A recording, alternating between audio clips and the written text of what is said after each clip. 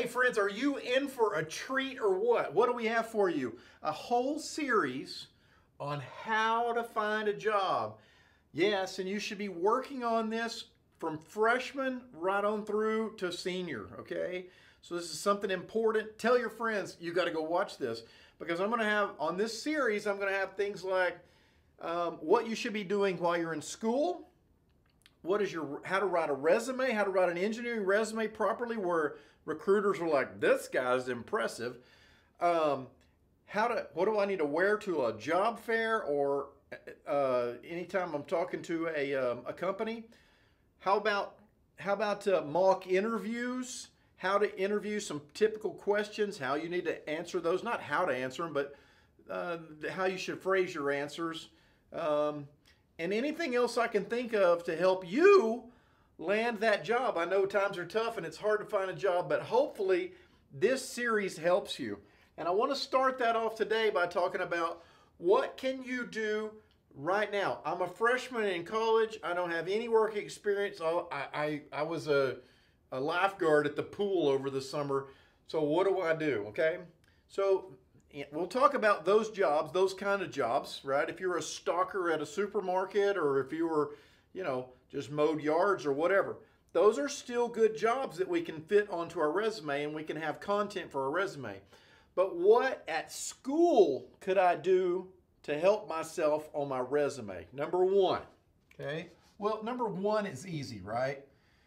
Get good grades, okay?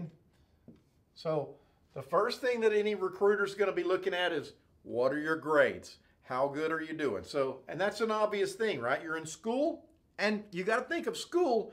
School's a competition. You're competing with all those other people in your classroom for the best job. And who's going to get that best job? Well, the one that has good grades is going to be up there, okay? Number two, okay? Good grades, don't get me wrong, it's not everything. It's not even close to everything. It's a big component, but it's not everything, okay? Get involved.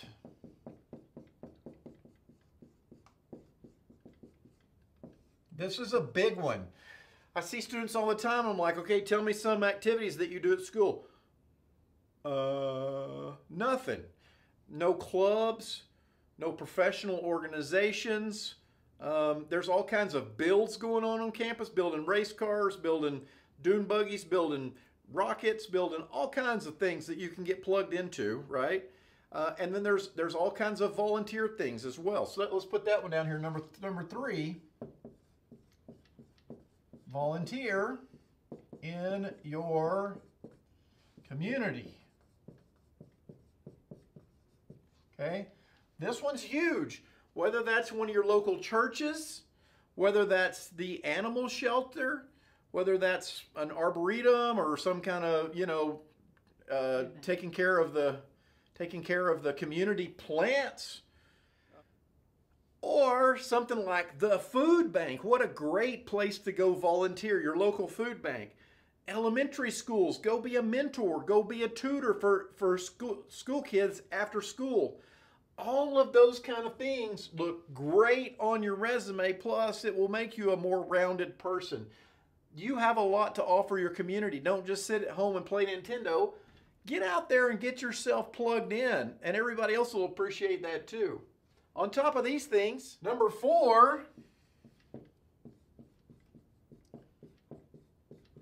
get to know your faculty. Okay?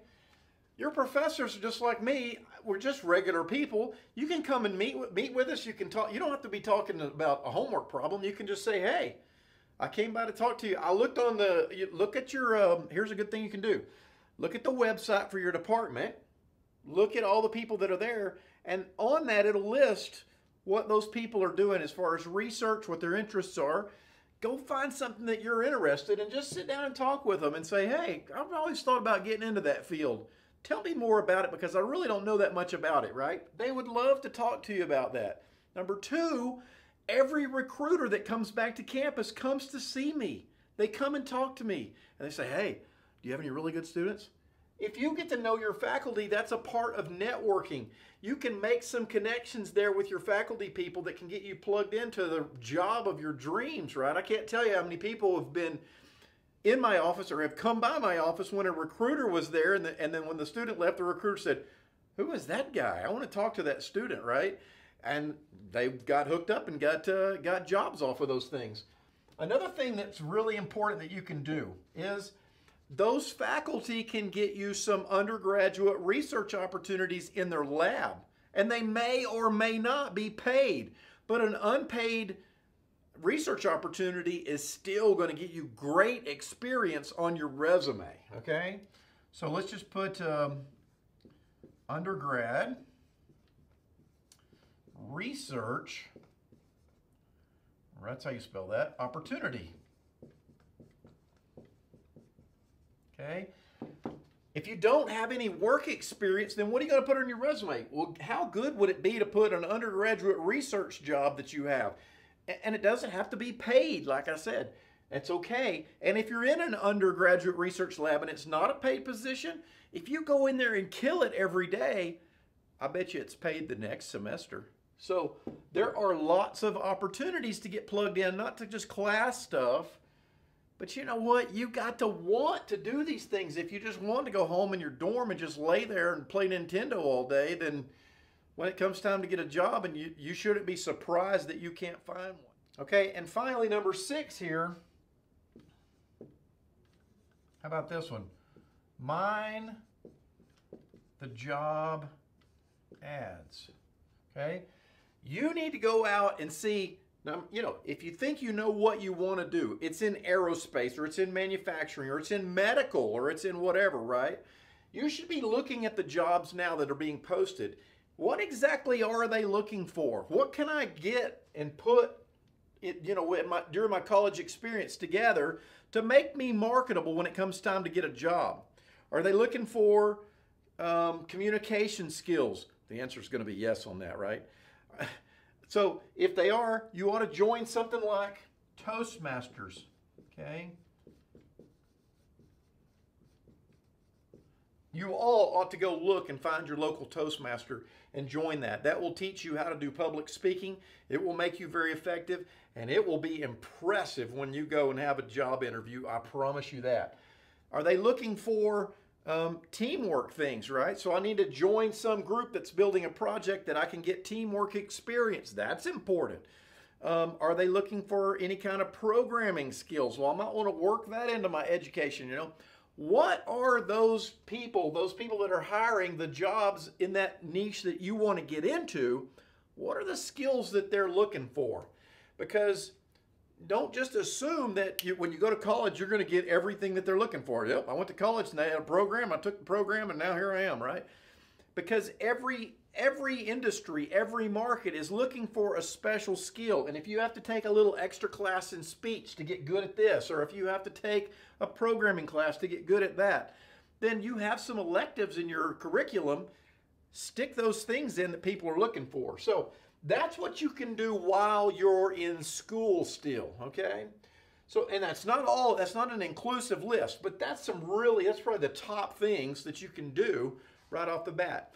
So as this series goes along, like for the next, the next set of the series here, we're gonna start talking about how to write an engineering resume um, that will impress that job recruiter at that next thing. And I'm gonna show you step by step, it's gonna be a multi-part um, series on how to write a resume um, to impress your job recruiter so that you can get your uh, either an internship, a co-op, or a full-time job, whatever it is. So stay tuned on this series. I hope this helps a lot of I hope it answers a lot of questions.